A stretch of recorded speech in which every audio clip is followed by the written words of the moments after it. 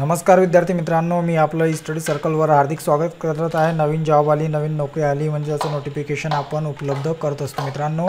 आजचं जे नोटिफिकेशन आलेलं आहे, महाराष्ट्र प्रशासकीय न्यायाधिकरणात, म्हणजेच मॅटमध्ये ही भरती होत आहे. याच्यामध्ये ग्रंथपालच्या तीन जागा आहे, लघुलेखक उच्च श्रेणीच्या तीन जागा आहे, लघुलेखक निम्न श्रेणीच्या दोन जागा आहे आणि लघु टंकलेखक याच्या तीन जागा आहे. अशा टोटल अकरा जागासाठी भरती होत आहे. डायरेक्ट भरती होणार आहे याच्यामध्ये. ग्रंथालयात जे आहे, डिप्लोमा मागितलेला आहे, दोन वर्षाचा अनुभव ग्रंथालयासाठी.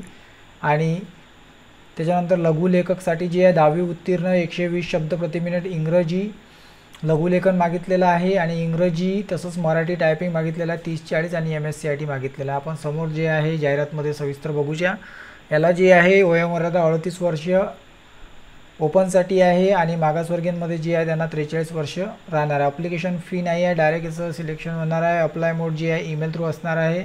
Mat dot Maharashtra dot G O V dot in ही याची ऑफिशियल वेबसाईट आहे. ह्या ईमेलवरती तुम्हाला जी आहे याच्यामध्ये मेल करायचा आहे. लास्ट डेट जी असणार आहे पंचवीस जुलैपर्यंत तुम्ही मेल करू शकता. मित्रांनो, महाराष्ट्र प्रशासकीय न्यायाधिकरण मुंबई.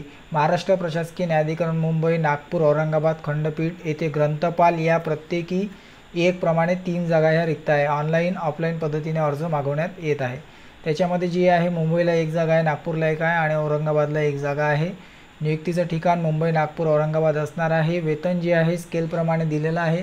तुम्ही बघू शकता, एकेचाळीस हज़ार आठशे ते एक लाख बत्तीस हजार तीनशे सातवा वेतन आयोगनुसार असणार आहे. आवश्यक अर्हता काय मागितलेली आहे? वयोमर्यादा मी तुम्हाला सांगितलीच आहे. अडतीस वर्ष आणि त्रेचाळीस वर्ष.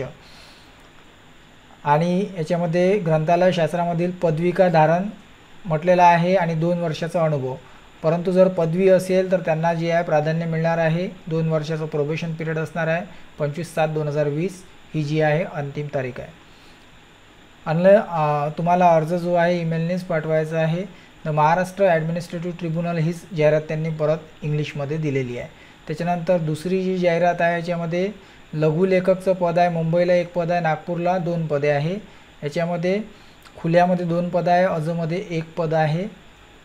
वयोमर्यादा अडतीस आणि मागासवर्गीयांना त्रेचाळीस आहे. याला माध्यमिक शालांत म्हणजे दहावी उत्तीर्ण मागितलेला आहे. लघुलेखनाचा वेग एकशे श, वीस शब्द मागितलेला आहे. याच्यामध्ये आणि इंग्लिश टायपिंग आणि मराठी टायपिंग तीस आणि चाळीस मागितलेली आहे.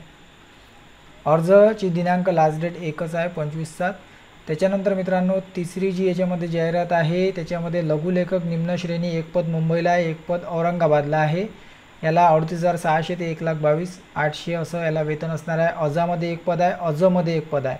तर ज्या पद्धतीनं पदं दिलेलं आहे त्याच पद्धतीनं तुम्हाला आरक्षणप्रमाणे जर तुम्ही याच्यामध्ये येत असाल तरच तुम्हाला अप्लाय करायचं अडतीस वर्ष आणि त्रेचाळीस वर्ष म्हटलेलं आहे, दहावी उत्तीर्ण मागितलेलं आहे, लघुलेखन, शंभर शब्द प्रति मिनिट मागितलेलं आहे, इंग्रजी आणि मराठी टायपिंगसुद्धा मागितलेलं आहे, चाळीस आणि तीसचं. पंचवीस सात याची लास्ट डेट असणार आहे ईमेल आय डी त्यांनी दिलेला आहे. त्याच्यानंतर नेक्स्ट जी जाहिरात आहे, याच्यामध्ये लघु टंकलेखक ही आहे. पदांची संख्या मुंबई दोन पद मुंबईला आहे, एक पद नागपूरला आहे. याला पंचवीस हज़ार पाचशे ते एक्याऐंशी हज़ार शंभर इतकं वेतन असणार आहे सातव्या आयोगानुसार.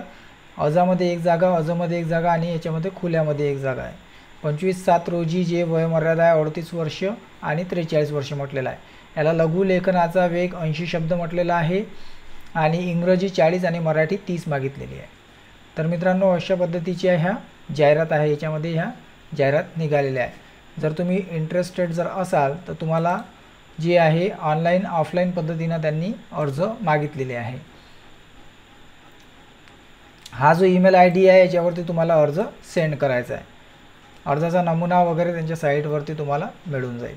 तरी मित्रांनो, आजच्या सेशनमध्ये आपण ह्या माहितीबद्दल जाणून घेतलेलं सरकारी नोकरी आहे आणि परमनंट जॉब हा असणार तरी याच्यामध्ये इतकं. धन्यवाद जय हिंद जय महाराष्ट्र